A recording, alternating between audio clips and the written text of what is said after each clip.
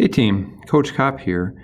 Uh, I'm just going to diagram two of our new plays that we have. I'd like you guys to watch this video and kind of study what is happening here. So the new plays are going to be called horns and horns twist. We're going to do horns first. We're going to have the four and the five line up at the elbows. Those will be primarily our post players, our bigger guys. The two and three will be our perimeter players, and the one is going to be our point guard. We might have a few other guys try point guard as well to give some more options. So the offense is going to start with the point guard trying to dribble up in this direction towards the middle of the court. The two big guys are going to come and they're going to set two ball screens right there. So I'm trying to make you nice and big with wide feet, um, a nice stable base. We don't want you to just stand there. We want you to kind of you know, come up, try to find the defense a little bit. When the defense is about ready to run into you, you do have to get still. But don't be just a statue there. Try to come up, be big, be physical. All right. The point guard, the number one, is going to have the option to go either direction. All right. And point guard should mix it up. They should not always go the same way. So let's say he comes, the point guard comes off of the five screen. All right. So option one is real simple. I would want the point guard, if nobody helps, to dribble in and get a layup. That would be ideal. Now, the team's not just going to let us do that every time, the opposing team. So we might have to have some other things happen. But that is our first option. Notice how close I have one coming to five right there because I want him to kind of rub off of his, um, you know, his screen right there. If you are a big guy, a post player, and your point guard comes into your side, your job would be to run to the weak side block. So you're going to set your screen and then you're going to go to the opposite block because there's a good chance your defender is going to help on that screen. You might be the one open. So, one's option, number one option is to score. His number two option is to look to the big guy cutting back to the basket. All right. Now, there is a chance that four's defender is going to all of a sudden help on this too. Four, if they don't come to your side, what you want to do, your, your point guard didn't come to your side. Your job is to come right to the free throw line right there, and you are our third option. Okay, so option one, point guard gets a layup. Option two, we pass to the five man who's cutting to the block. Option three is we're going to pass to the four man. One, if you feel like you're getting walled off and you can't pass to the five, most likely the guy that will be open will be your four man right there. Now, let's talk about what the two and the three do in this play. They don't just stand there, um, they're going to stand there initially uh, in the corners to spread the floor. We don't want them diving into the block. All right to try to get rebounds or anything like that because it's going to crowd it up. We want to, you to stay spaced. So let's talk about the three first off. The three, if the one did not come to your side, really you're not any use down in that corner and you really aren't going to cut in. We're going to have you start to come up this way. All right. So you're kind of filling those spots that are up top there, trying to bring your defender back up. Now, two, you have a scoring option. I would say you're our fourth scoring option.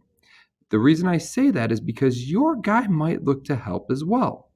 So you have some spots you can go to. I want you to think about kind of coming to this short corner right there, not going all the way to the block, and you might be able to catch for an easy shot right there if your guy helps. Another option is you might come up this way, and one might pass you the ball here and then you could maybe attack.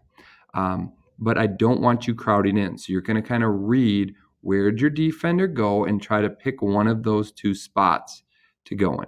All right.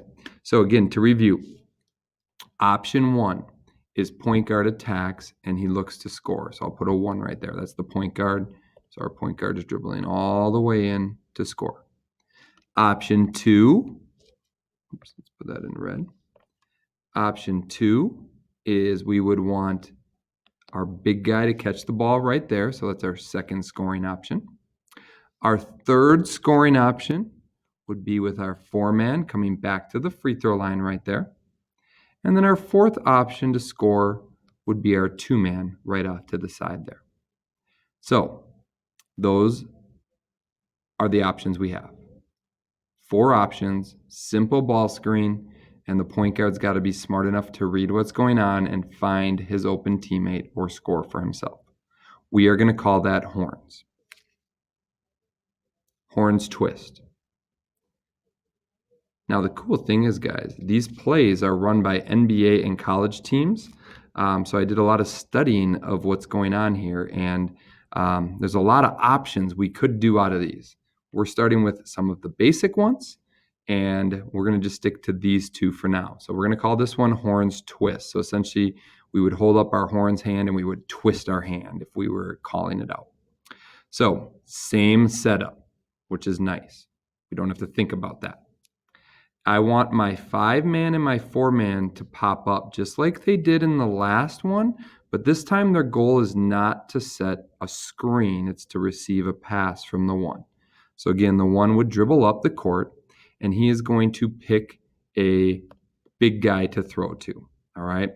Let's say he throws to the five man. All right. The five man's going to catch the ball and he is going to turn and square up. And if he gets the ball, we're going to try to run a two man little play with the five and the two. All right. And we'll demonstrate what that looks like here. Now, what we want to have happen is the one, the four, and the three who are not kind of on the side of the ball right now. Your job is to set a double screen for the three, the one and the four. So it's going to look like this. So the five man catches it. One is going to then cut with the intent of setting a screen for the three man. The four is going to do the same thing. So you guys are setting a double screen for number three. All right. So the three men, and, and as this is happening, five and two are going to be doing something over here, and you guys are all going to be doing something on this court, uh, side of the court. The three man will set it up, and the three man is going to come up towards the top area right here possibly getting ready to receive a pass from the two. All right, so that's what's happening on the weak side of the floor. And when I say weak side, I mean the side away from the ball. All right, so imagine like there's a line, you know, I'll just do a dotted line right down the middle of the court. The ball is currently in the five man's hands. All right, the five man has it right now. He caught it right there. That's that blue dotted line. So the weak side would be the other side. So the five and the two are going to run what we're going to call a dribble handoff. So he's going to square up to the basket first, and then he is going to start to dribble at the two man. I would say it's going to be two dribbles, probably, maybe three. Um, but he's going to start to dribble at the two. Now, this is where the two gets to be creative. He has two options. All right. It all depends on where his defender is. Let's say his defender is right where that X is, right there. That's where two's defender is, the green X. Well, the obvious play then would be a backdoor cut. So if you see this two and five's dribbling right at this guy, I don't think that they'll be there too often, but they might be. So if he's dribbling at the two and the two notices this, he's going to cut backdoor, and the five should try to throw him a little bounce pass for a layup, and the two would drive in and shoot a layup. Okay. Now, I think a lot of times that's not where they're going to be. So let's go ahead and just go back a couple slides. I'm going to undo my little dotted lines here. Let's say the green X-Man is now right here. All right. So that's where I think he'll play more often than not. So what the two is going to do, he's going to set it up low. So he's going to kind of come low and then he is going to come and run towards his five. The five will pick up his dribble and do a little handoff with the idea of the two attacking the middle of the paint. Okay.